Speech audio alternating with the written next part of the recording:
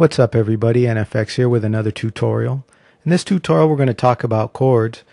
Um, I want to preface the tutorial by saying that I am by no means an expert on chords or uh, music theory for that matter. Um, I've kind of learned, you know, on my own and know what I know. And really my goal with these tutorials is to just get your appetites going so that uh, you know, if there's a little stumbling block that you're having or learning curve that you need to kind of get over the hump, you know, maybe one of these tutorials will help you do that and get get to a point where a little light bulb might go off and help you to uh, to motivate you to go to the next level. So, uh, with that in mind, let's talk about chords. Now, what is a chord? Well, a chord is when you play three notes or more uh, three different notes, I should say, simultaneously. For example, this is a chord. And if you look on the screen, you can see that I've pressed the C, the E, and the G. And that's a C major chord.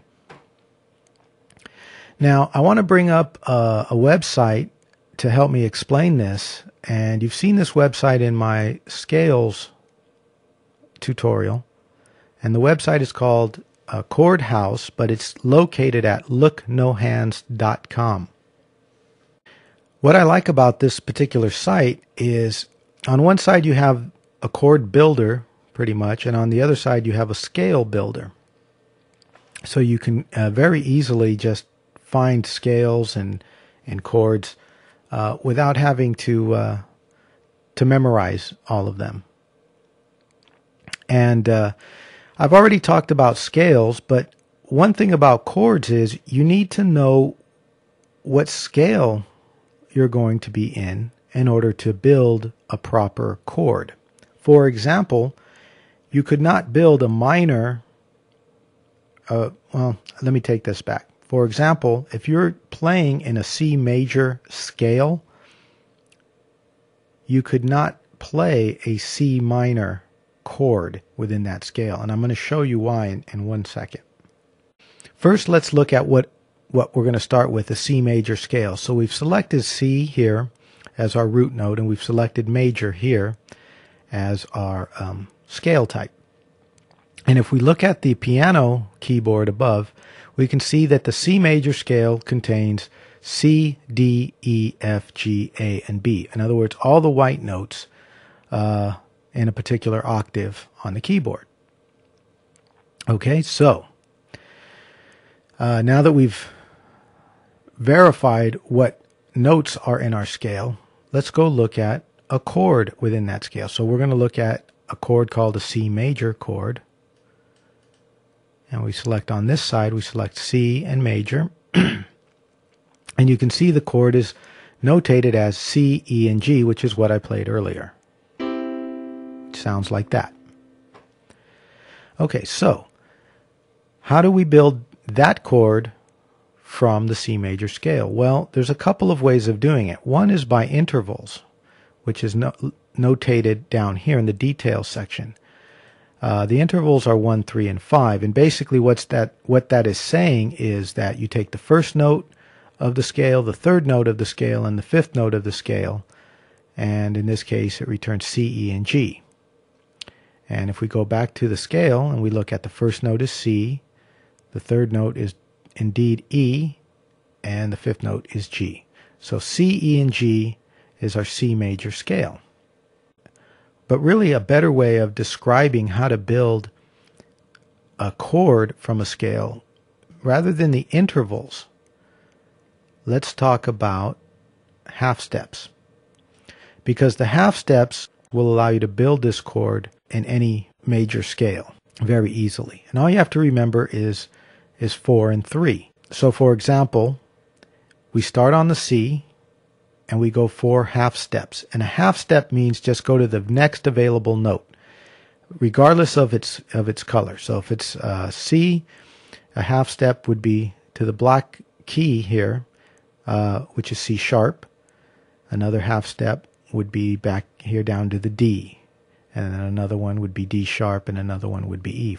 So that's how we count half steps. So we're going to count four half steps. So we start on C and we go one, two, three, four. And yep, there we go. We landed on E. So four, we have our root note C. We have our fourth half step, uh, which is E. And then if we look at our formula down here, the second number is three. So from the E, we count three half steps. One, two, three, and we get to the G. So using this formula, four and three, we're able to build a major chord from our major scale, from our C major scale. Now that formula will work in any major scale. So we can go to, for example, an E major scale. Okay, so I've just built the E major scale, and if we remember four and three, um, let's let's figure it out. E is our first one, so we're going to include that. Then we're going to go four, one, two, three, four, which is G sharp. Okay, and then we're going to go three, one, two, three, which is B. So we need E, G sharp, and B for an E major chord. And let's just go build that over here to verify. E major, and then look, there it is. E, G sharp, and B.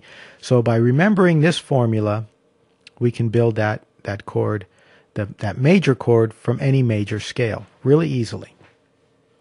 But what about minor scales? What about other types of scales? Well, let's take a look at that. I'm going to bring up uh, an A melodic minor scale, okay? And the reason why I did that is because they're all white notes from, in an A minor scale. It's A, B, C, D, E, F, and G. Uh, and you can see they're all white notes. Well, okay, so now let's let's think about this. Let's what happens if we try to build a major chord from this scale? Well, remember the formula of four and three. So we start on A and we go one, two, three, four. Now the four happens to land on a C sharp, which lo and behold is not in this scale, which means playing an A major chord in a song that's using an A minor scale is not going to sound all that great. So we generally don't want to do that. Okay, so now what do we have to do is we have to figure out how do we build a minor chord? Well, let's go look it up. So let's select A on the chords over here. And let's find the minor notation, which is the small m. You know, a, a, large M usually means major, like it's notated here, A, and with the large M is major. So when we go to A minor, that's a small m. And we've got a different formula a 3 and a 4. Okay? So 3 and 4. In other words, it's kind of the reverse in a way because the other one was 4 and a 3.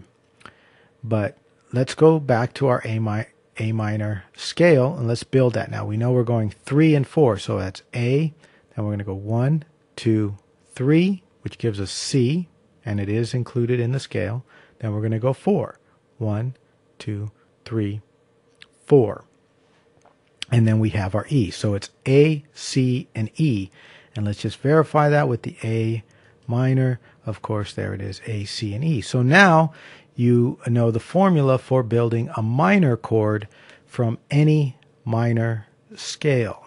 And really, I mean, that's all there is to it. Now, there are ways of playing chords that are a little bit different, and you probably want to just be aware of that. Uh, let's bring up FL Studio for a second. Let's take a look at that. So here we have our keyboard and and we're going to talk about actually let's go back to the C major which is right there, okay?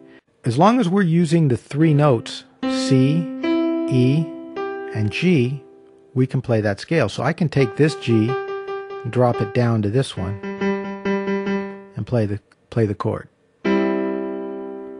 That's one way of playing a C major. Even though my lowest note is a G, I still have all the notes I need to uh, signify the C major chord. So I can play it like this, or like this. And you can hear they've got a slightly different tonality to them.